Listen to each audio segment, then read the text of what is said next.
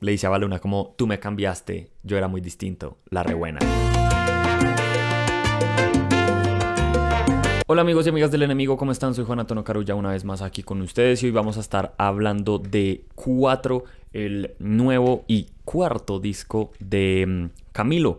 Camilo ya lo conocerán, Camilo Echeverry, celebridad del pop y el mainstream colombiano, niño eh, querido por todo el mundo en el Factor X. A mí principalmente me gusta mucho el, el, el rockcito así como viejito, estilo Sí. Sui Generis.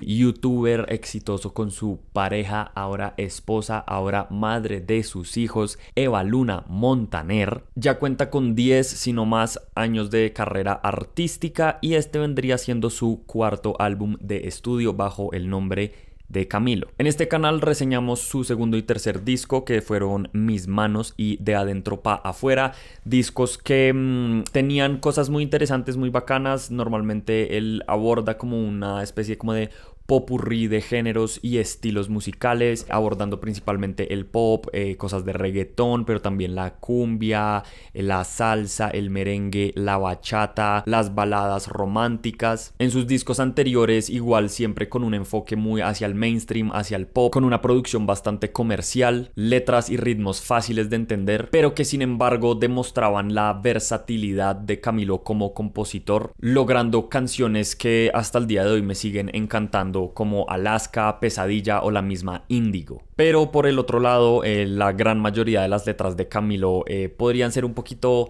demasiado cursis, demasiado empalagosas, melosas, románticas, incluso canciones un poco genéricas y al borde de lo cringe. Pero señores y señoras, déjenme decirle que este nuevo álbum 4 me sorprendió gratamente. Desde que él empezó a lanzar sencillos previos a este álbum, que además fue dividido como en tres EPs, 1, 2, 3 y resulta el álbum 4, se demostraba como una dirección mucho más madura, un poco distinta, un poco más enfocada del compositor medellinense. Y mmm, creo que este es probablemente el disco más maduro de toda la carrera artística de Camilo y viéndolo además en cualquier ángulo compositivamente las canciones están mucho mejor ejecutadas y estructuradas. Como letrista también creo que toma mucha influencia también de la salsa, por ejemplo, y construye unas historias unos personajes mucho más eh, cercanos e interesantes. Y como productor también vamos a ver que este disco tiene unas decisiones estilísticas, de timbres, de sonidos, de arreglos que hacen este uno de los mejores discos pop que haya escuchado este año. Lo primero que llama la atención es la decisión de géneros, estilos y ritmos que decide tener Camilo en este disco. Acá se aleja bastante como de la tendencia y de las canciones de reggaetón y de pop, incluso de regional mexicano que presentaban discos anteriores y acá se enfoca casi que única y exclusivamente en géneros y ritmos tropicales, siendo esos la salsa, el merengue, la bachata y el vallenato, lo cual le da mucha más cohesión estilística a las canciones y también le da un peso que se nota que va a trascender eh, con el paso de los años y en el tiempo. Es un disco que puede sonar muy bien ahora, así como pudo sonar muy bien hace 20, 30, 40 años, así como probablemente va a sonar dentro de 30, 40, 50 años estos ritmos tropicales están instaurados en la sangre y en el imaginario colectivo de Latinoamérica y en el mundo y son ritmos y géneros que han vencido y han demostrado vencer la tendencia, cosa que le da como un poco más de seriedad a este álbum. Y esto empieza desde la primera tripleta de canciones Gordo, No se vale y Please. En Gordo, donde él un poco reivindica la palabra gordo como adjetivo peyorativo y la usa más como un, un adjetivo de cariño y de amor y de ternura hacia su pareja, donde puede ser una palabra dentro de un lenguaje íntimo y también él hace una reflexión a valorar lo que uno tiene antes de perderlo. La canción No se vale habla un poco de cómo puede ser injusta la vida luego de terminar una relación donde la otra persona puede verse más linda sin uno. Y la canción Please junto a Eva Luna es de las joyas que tiene este disco en cuanto a arreglos, composición, letra y colaboración eh, vocal, donde pintan esta imagen de que están en una casa que se está quedando muy pequeña para ellos y para el amor que sienten el uno hacia el otro y entonces están buscando irse a otro lado, un poco escapar, pero no es un escape por una situación trágica o dolorosa, sino es como un escape hacia un lugar feliz donde no les importa si hay o no casa, donde si hay o no cosas materiales porque se tienen el uno al otro. Y como que esta historia lo, lo, construyen muy bien, Eva Luna diciendo que su casa ya tiene grietas porque el amor ya no está cabiendo y está como agrietando las paredes, que le está tocando sacar los muebles de la casa para que quepa el amor. Le dice a Camilo que no se preocupe por la casa, que ella estudie arquitectura si es necesario y él diciéndole que no se preocupe porque él sabe que ella sabe hacer muy buenos castillos de arena. Es una gran canción también como juega la tensión de el, el puente antes del coro diciendo que está viendo el futuro a la vuelta. Es, es espectacular, es una canción tremendamente bien construida y muy bien lograda. Vayámonos de acá, a nuestro lugar feliz. Y acá es donde uno también se da cuenta cómo Camilo toma influencia del el estilo de hacer letras de la salsa, donde la salsa es tradicionalmente un género donde eh, las letras son muy narrativas, hay un personaje y a ese personaje le pasan diferentes cosas durante la canción, muy obviamente eh, eh, heredado también de personajes como Rubén Blades, etc. Creo que en este disco lo muestra y lo, lo bebe, digamos, de esa influencia bastante. Es acá y en las siguientes canciones donde uno también se da cuenta el estilo de producción de Cuatro. Contrario a sus tres anteriores discos, este es un álbum donde suena más orgánico, los instrumentos todos suenan súper naturales, se nota que grabaron esto en un muy buen estudio con muy buenos instrumentistas que sabían lo que hacían, es además una escogencia de timbres que no suenan ni digitales,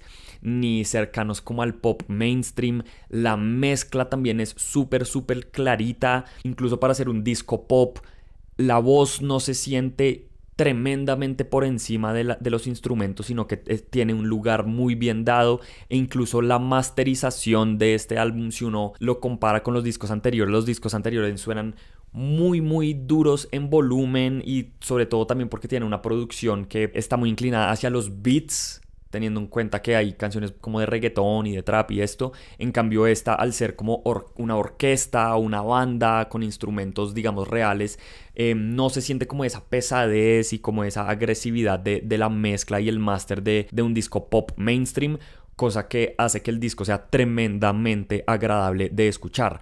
Y acá es donde nuevamente se ve lo genio realmente que es Camilo, porque si ustedes ven la lista de créditos, casi, casi, casi que el único que figura es Camilo. O sea, compositor Camilo, productor Camilo, en casi todo el disco. En ritmos más colombianos tenemos la canción En tus sueños o en los míos, que bebe de ritmos como el vallenato, la cumbia sabanera y el porro colombiano, con acordeón, clarinetes y guacharaca, donde le canta también a Eva Luna diciendo que ella está pagando arriendo en su corazón. La canción Una vida pasada con Karim León es de las más fiesteras de todo el disco, es una salsa bien acelerada, donde usan las manos como recurso para decir que odian sus manos por dejar ir a esa persona y que se cortarían las manos por dejar ir a esa persona y como que la canción se construye a partir de eso. Y luego tenemos la canción Corazón de Ojalata que creo que va a pasar a la historia como una de las mejores baladas que ha compuesto Camilo en toda su carrera. Es la única lenta, como un poco con un carácter un poco más melancólico y más sombrío, donde la voz de Camilo además suena súper adolorida por momentos, donde él le agradece a su pareja, a su moyoa Eva Luna,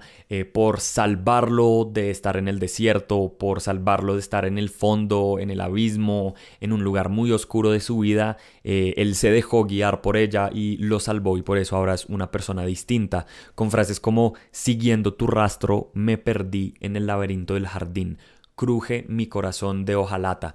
Trajiste colores, me diste razones, estaba sediento.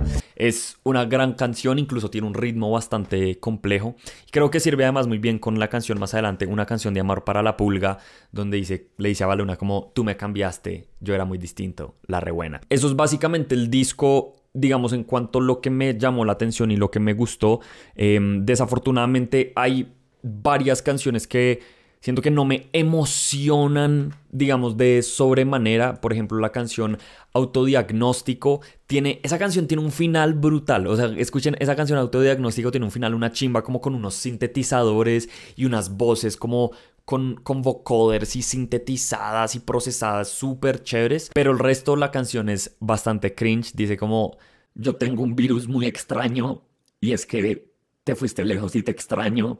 Y es como una especie de merengue, pero a ver, si no fuera por el final, la canción no tendría, la verdad, mayor, mayor cosa. O también la canción Amor de extranjeros pasa totalmente desapercibida. La última canción, La boda, creo que, a ver, o sea, si uno está muy metido como en el lore de Camilo, entiende que él representa y él y Eva Luna representan como los valores de una familia cristiana, pero una familia muy tradicional, donde es el matrimonio, la familia, tenga hijos y cuide eso.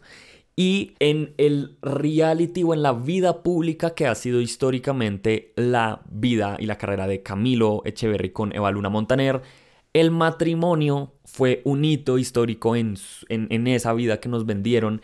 Y el matrimonio, pues, ¿qué es? Es comprometerse frente a los ojos de Dios.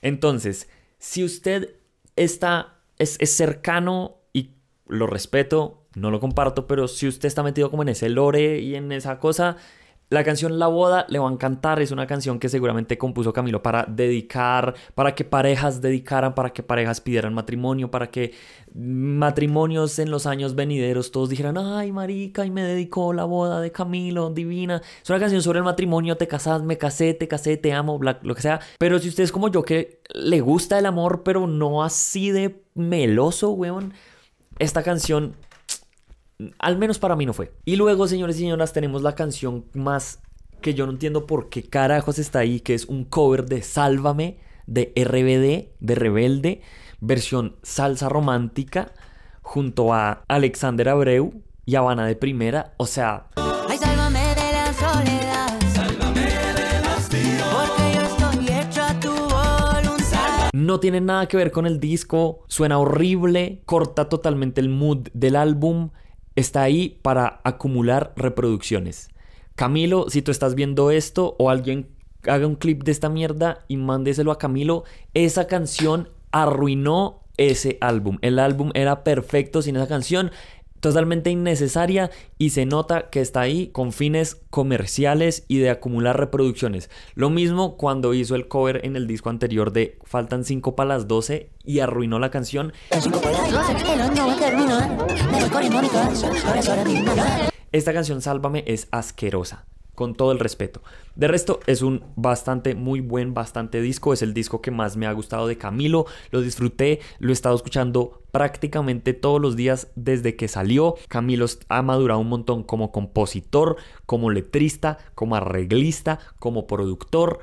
No le tenga miedo a escuchar un disco de Camilo. Esta vaina está bastante, bastante bacana. Eh, para mí este disco es un 7, un sólido, sólido 7. Si estoy borracho probablemente es un 8. Cuéntame que le gustó, le gustó, no le gustó. Em, tenemos merch a la venta. No tengo nada puesto acá, pero hay merch. Santicen adjuntó aquí un pocotón de fotos de la merch. La buena, sigan a Santicen, editor number one de los videos del enemigo. Y ya, nos vemos. Bye.